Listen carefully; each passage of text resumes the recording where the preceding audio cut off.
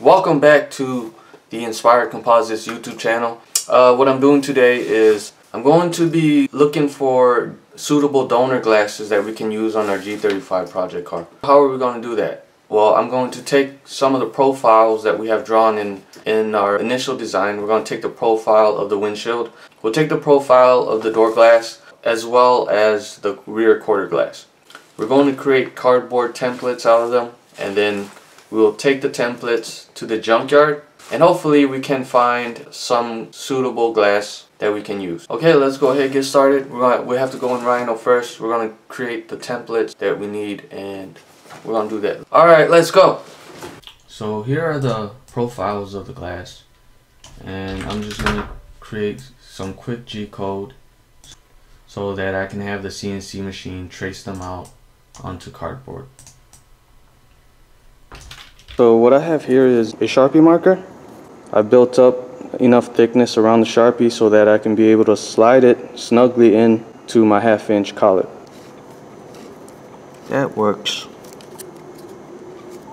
So now we have our pen, Sharpie, and we can draw out our profile onto cardboard.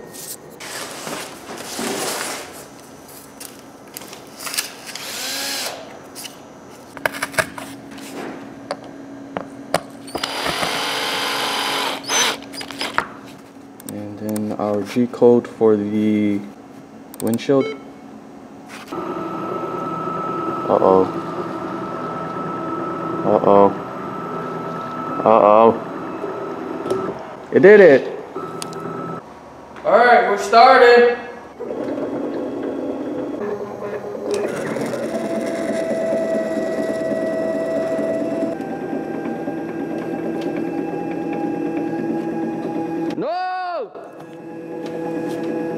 Seems to not have touched over here.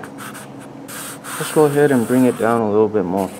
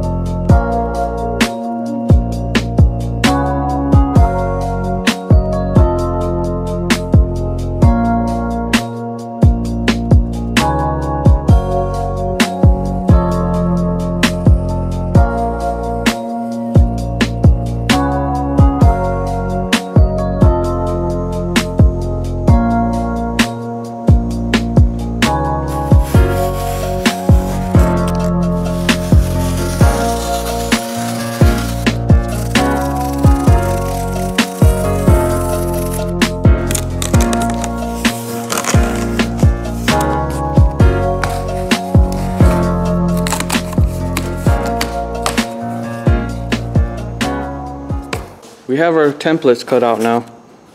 And we can take these, we're gonna go to the junkyard and find, try to find some suitable donor glass that we can use on our project. Let me show you guys the windshield I have. This one was actually for an Aventador kit. The only problem I have with this and using this for the G35 is that at the top there's a very thick tint and if we use that for this car, it may be really hard to see the traffic lights while you're driving. And hopefully I can find a windshield like this one. But if all else fails and we can't find a windshield, we'll just use this one. We already have it here in the shop and that will work for us as well. So I'm gonna pack up this stuff. We're gonna head to the junkyard and see what we can find. Good old pick and pull. Good old pick and pull.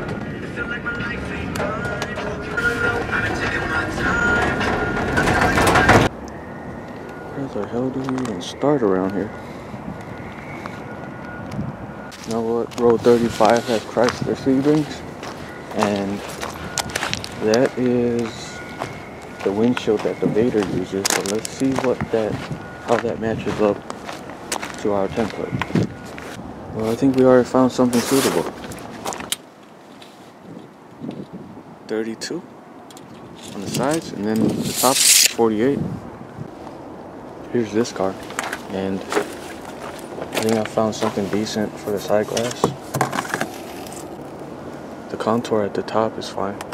Actually, the contour at the top matches pretty well. So, that's an option.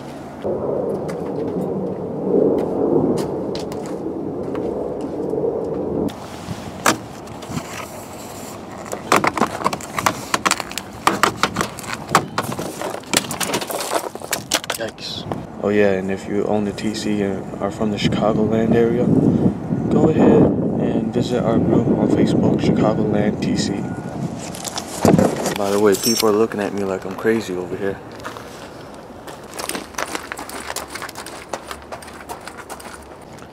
Look at this little gem. I think it's a Mazda.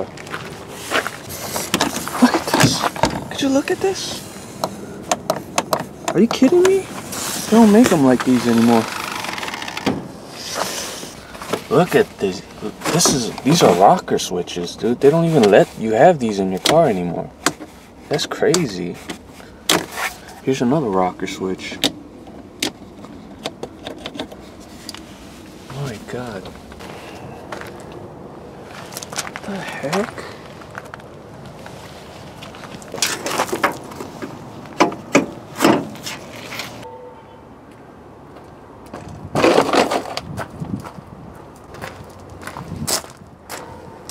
Alright, let's get the hell out of here.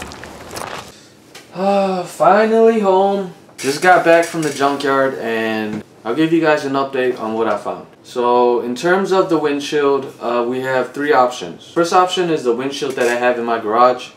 And the problem with that windshield is that I don't like the tint at the top of the windshield. It makes it look like it's from an old car, which it, it actually is. Second windshield that I found is isn't that much better than first one. It's pretty much almost the same thing, has that heavy tint at the top. Third option is, which I like the most, would be a Saturn Aura. And the Saturn Aura is nice because it's a little bit wider windshield. It tapers at the top a lot more. The thing that I like the most about the windshield is that it doesn't have a heavy tint. It actually doesn't even have a tint at the top. It has a, a black frame around it and that's actually very nice because it makes the windshield look a little bit more modern. Most likely we're going to be using that so uh, in the future I will be buying that windshield and I will be putting it in CAD and making sure our model uh, fits that windshield. For the side glass, which is the most important part, I found two options that aren't the best. So the first option is a Mitsubishi GS.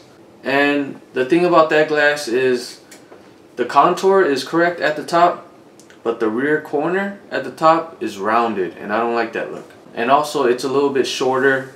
The angle of the edge is a little bit different from the G35.